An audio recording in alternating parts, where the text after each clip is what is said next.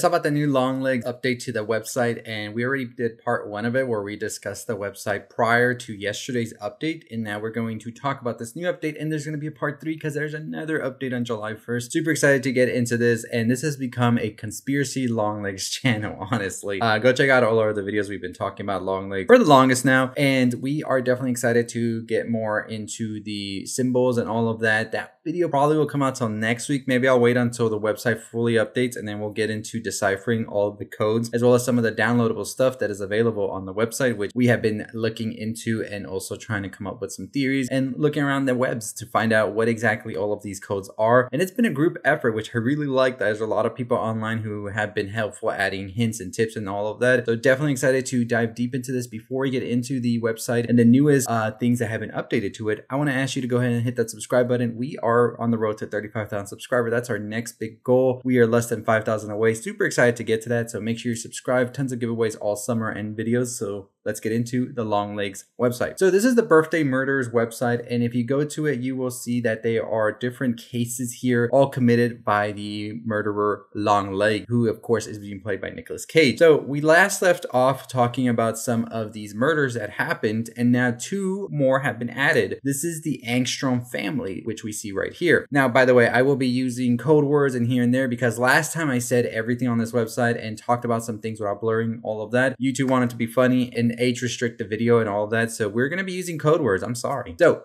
Warren and Vivian Angstrom had been together for nearly 10 years. Warren, a notary public at the Salem Municipal Courthouse, met Vivian while bowling at Shenanigans Lanes in West Staten. They soon married and settled in the town of Elkhorn. The couple loved to go fishing in the Yamhill River every spring. Polly, their only child, was a nine-year-old who attended Lonnie Elam Elementary School, where she was awarded Student of the Month shortly before she was brutally murdered. That is an insane sentence to read. I haven't read these, so I didn't even know that was coming really really just went straight to it, right? So it says the little girl had been stabbed over 40 times with a 12 inch chef's knife. Her face was sliced off with a vegetable peeler post mortem. Vivian, 34, was found in a pool of blood with a boning knife protruding from her stomach. Warren, 38, had gouged out both his eyes with a screwdriver before slitting his own wrist. Man, the murder's uh, description, everything this go around for the website just got really brutal and dark, honestly. Did not expect all of that. Deputies responded early on November 17 17, 1972, after receiving a call from a traveling salesman who had knocked on the door to the Angstrom's family residence on Baylock Street. Police Lieutenant Travis Hobson was quoted as saying, I never believed that Warren Angstrom was responsible, but with all the evidence pointing to the contrary, the case was ruled, I'm not going to say that one because YouTube, but you know, someone or something made him do it, Hobson added. He didn't do all of that on his own accord. Warren was described by all who knew him as a naturally family man, yet what became of his family was anything but natural, and we get some crime scene photos. I'll try to show as much as I can here, but YouTube is just not really complying with these things. It's a movie, y'all. It's a movie, but YouTube doesn't understand that sometimes. The interior walls of the house were decorated with a series of inverted triangles a copy of the book The Golden Bough, A Study in Magic and Religion by Scottish anthropologist Sir James George Frazer was found on the bedside table turned to page 187. On the refrigerator, a birthday card was inscribed with coded message. The card was signed Long Legs, and we see a little note that was left here. We're doing a deep dive into deciphering these codes next week. I just want to get all of them together before I do it. I was planning to do it last week, but then I thought I should wait to get all of them and just do a whole video on it instead of giving you a ton of other videos that instead of making like 10 videos videos just about that. So that will come out next week when we probably get all of it. Neighbors recalled seeing a yellow moving van circling the block in the days leading up to the killings. I saw it one night after Johnny Carson, claimed neighbor Ida Cass. I remember thinking, who in the heck moves furniture in the middle of the night? If this vicious crime was indeed part of the Longlegs murder, it would have been the sixth set of killings perpetrated by the killer. Years later, when the case was reopened, the Federal Bureau of Investigation noted that the crime may have had a special significance for the murderer as six is the number of the devil. So definitely gonna keep the Angstrom's murder high up on the list as something where maybe Longlegs changed. And one thing to note too is this took place 1972, and when you go and open some of these files, you see that some of these new photo crime scenes that you see are dated for 1992. So 20 years after the murder, it looks like this is when the movie's taking place after the sixth murder. So we're gonna get back to the Golden Bough, which is the book that was found after we read the final murder. The Hemlock Police Department the bodies of four people were found on the evening of August 19, 1974, in an apparent murder. Jasper Weir, 36, a system administrator with the firm of Beckwith and Halloran, is suspecting of killing his wife Ethel, 32, and their two daughters, Veronica and Rosemary, before taking his own life. Ethel, who worked as an office coordinator with Seward and Sons, was found in the bathroom. Bodies of the girl Veronica and Rosemary were found in the living room. The girls were said to be straight A students at, Ma- at Mapplethorpe Street School. Family members recalled that Veronica wanted to be an astronaut when she grew up, while Rosemary had hoped to be a keeper at the Cape Disappointment Lighthouse in nearby Washington State. Family enjoyed swimming and recreational activities at Hagg Lake. Hemlock Child Protective Services was called to pay a visit to the Weir house after the girls had missed several days of school.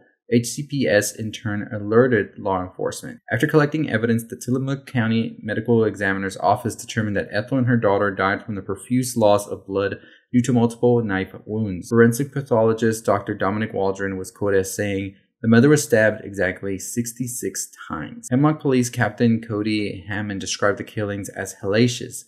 He noted that the murders were clearly the work of a twisted mind. Similar to the Armstrong family, a copy of the Golden bough was found on Jasper's bedside table. Turn, turn specifically on page 226. So I'm going to read this page after. The Y2 story house in Grimaldi Way would never look the same way again. The Mount Golgotha neighborhood was described as reeling after the murders were discovered.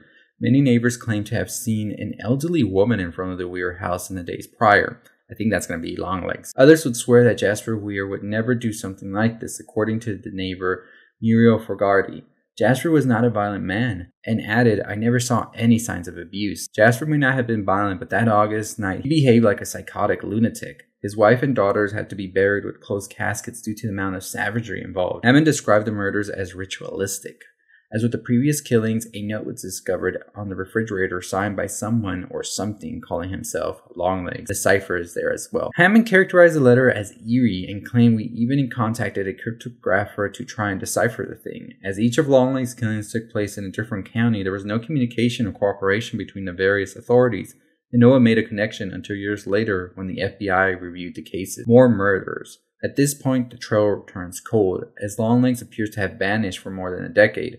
No more murders, no more letters, no more seemingly demented familicides for over for over 10 long years. What started out as a series of unrelated murder is now looking increasingly like the work of a mysterious and unhinged serial killer. In the next entry of this weblog, we'll learn whether or not Longlegs continues to kill, and it says to tune back on July 1st. It has some download stuff as well to check out, which I had checked out. And like I said, one of the main things to uh, take away from those is that the new uh, pictures are dated 1992, which is 20 years after the murder in 1972, which was the sixth killing, which apparently they're saying was a big one for Longlegs since they are so into the Satanism and all of that. So let's get into the copy of this book, which is The Golden Bough, which The Golden Bough is actually a real book, which you can actually read. So The Golden Bough is says a study in comparative religion, and it was also called a study in magic and religion. It says it is a wide-ranging comparative study of mythology and religion written by Scottish anthropologist Sir James George Frazer. And apparently this book dealt with a lot of the shared elements of religious belief, scientific thought, which discussed human sacrifice, the dying god, scapegoat, as well as fertility rite. And so the thesis behind James George Frazer's book, The Golden Bough, was that most ancient religions were fertility cults that revolved around the worship and periodic sacrifice of a sacred king in accordance to the cycle with the seasons. And this was a whole thing that he wrote about that says the understanding of the natural world would progress from magic through religious beliefs to the scientific thought. So that makes it very interesting here because we're seeing all of these murders and all of that is being committed. And in a way, it's like Longlegs thinks these are like the sacrifices that he is making. And so let's read this page here that comes from the book that was left at one of these crime scenes. Therefore, the Brahms are our gods. This radical conflict of principle between magic and religion sufficiently explains the relentless hostility with which in history the priest has often pursued the magician. The haughty self-sufficiency of the magician, his arrogant demeanor towards the higher powers, and his and his unabashed claims to exercise a sway like theirs could not but revolt the priest, to whom would his awful sense of the divine majesty and his humble prostration in the presence of it, such claims and such demeanor must have appeared. An impious and blasphemous assertion of prerogatives that belong to God alone. and sometimes we may suspect lower motives concur to whet the edge of the priest's hostility.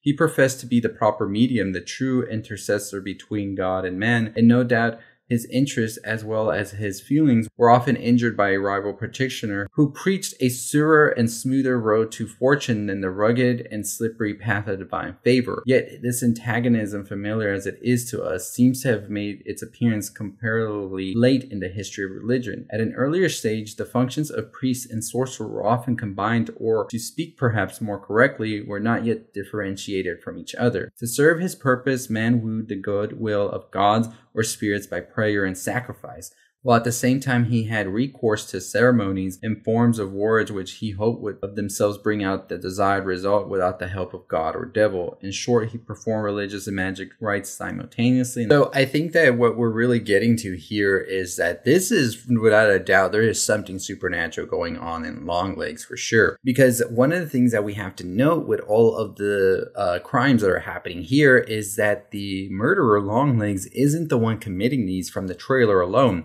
what we see is that there is something supernatural going on here. And many people have also pointed out that this book also talks about sometimes there are these spells and things that are passed on. And even here it talks about the mantras and things that take hold of one.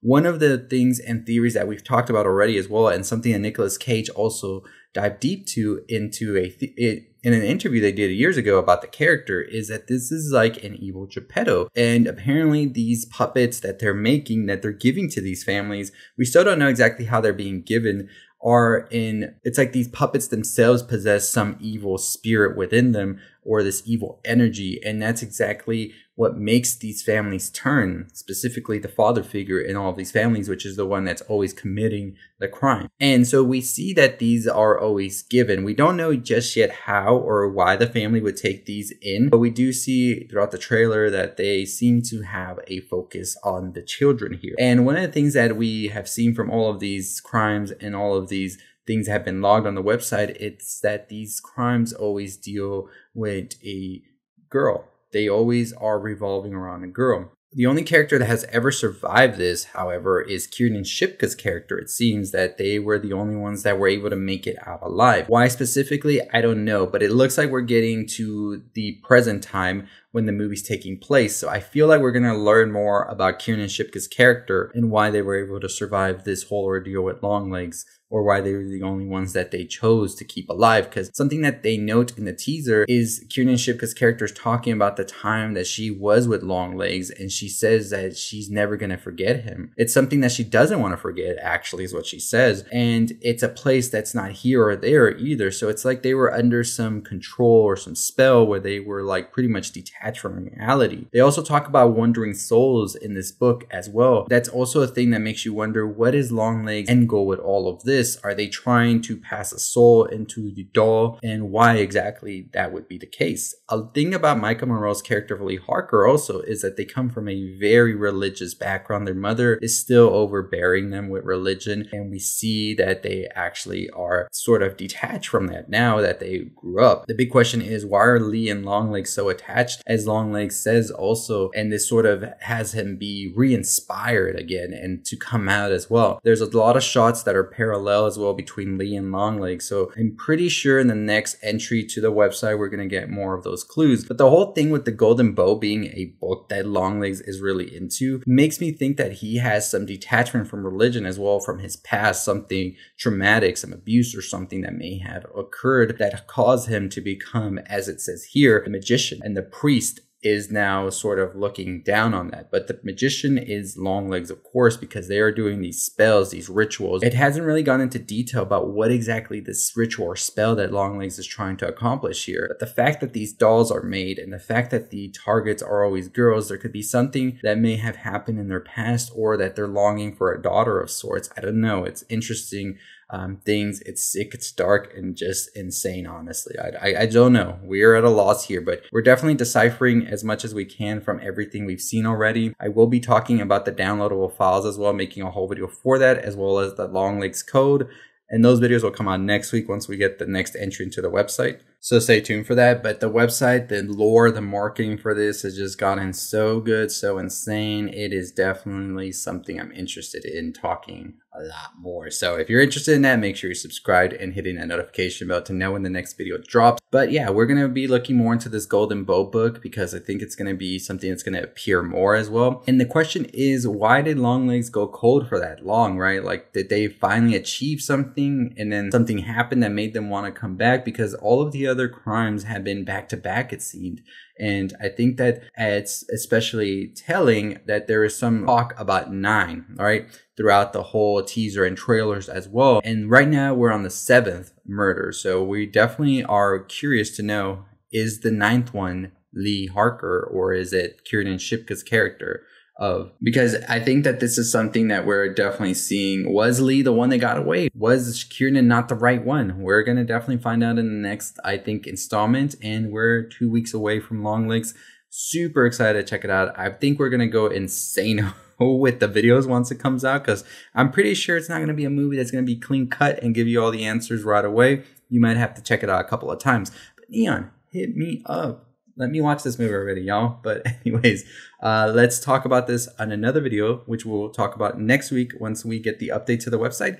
In the meantime, if you haven't checked out our other videos on long legs, really would appreciate you checking that out. We got a ton of other videos as well. We've been talking about Nosferatu, MaXXXine. It's horror summer really right now, but we got some other uh, movies we're going to talk about pretty soon. So if horror is not just your thing, we don't just do horror. We do a ton of other things. Go check us out. Really would appreciate our website, www.cultureelixir.com as well as our Instagram, our TikTok, our Twitter, running a giveaway for a Dexter's Laboratory Complete Edition. So go check that out right now on Instagram at the Cultural Elixir. And as always, that is going to do it for me. Drop your theories, drop your thoughts on the website as well below.